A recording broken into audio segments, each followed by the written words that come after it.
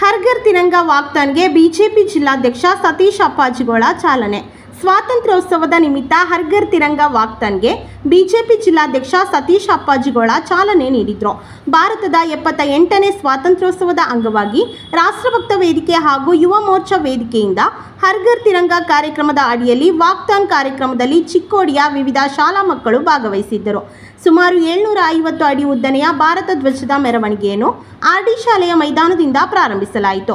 ಮೆರವಣಿಗೆಯು bus ನಿಲ್ದಾಣ, KC ರಸ್ತೆಯ ಗುರುವಾರಪೇಟೆ ಮಾರ್ಗವಾಗಿ ಬಸವ ಸರ್ಕಲ್ ಅನ್ನು ತಲುಪಿತು. ಈ ಸಂದರ್ಭದಲ್ಲಿ ಸಂಜಯ್ ಅಡ್ಕೆ ಕಿಶೋರ್ ಕುಲಕರ್ಣಿ, ಶಾಂಭವಿ ಅಶ್ವತ್ಪುರ, ರಮೇಶ್ ಕಾಳಣ್ಣವರ, ಅಮೃತ ಕುಲಕರ್ಣಿ, ಅಜಯ ಕೌಟಗಿ ಮಠ ಸೇರಿದಂತೆ ಮೊದಲಾದವರು ಉಪಸ್ಥಿತರಿದ್ದರು. ನಮ್ಮ ಭವ್ಯವಾಗಿರುವಂತಹ ಭಾರತ ಎಷ್ಟು ದೊಡ್ಡದಿತ್ತು ಅಂತಂದ್ರೆ ದಕ್ಷಿಣದಲ್ಲಿ ಶ್ರೀಲಂಕಾ, ಶ್ರೀ ಅಂದ್ರೇನೆ ಲಕ್ಷ್ಮಿ, ಶ್ರೀ ಇದು ಸಂಸ್ಕೃತ ಪದ, ಸಂಸ್ಕೃತ ಅಕ್ಷರ. ಆ ಪ್ರದೇಶವು ನಮ್ಮದೇ ಆಗಿತ್ತು. ಬ್ರಹ್ಮದೇಶ ಅಂತ ಯಾವುದಕ್ಕೆ ಹೇಳಲಾಗುತ್ತೋ, ಆ ಬ್ರಹ್ಮದೇಶ ಇವತ್ತಿನ ಬರ್ಮ, ಅದು ಸಹಿತ ನಮ್ಮದೇ ಪ್ರದೇಶ ಆಗಿತ್ತು. ಯಾವುದಕ್ಕೆ ಶಾಮದೇಶ ಅಂತ ಕರೀತಾರೆ, ಆ ಮ್ಯಾನ್ಮಾರ್ ನಮ್ಮದೇ ಆಗಿತ್ತು.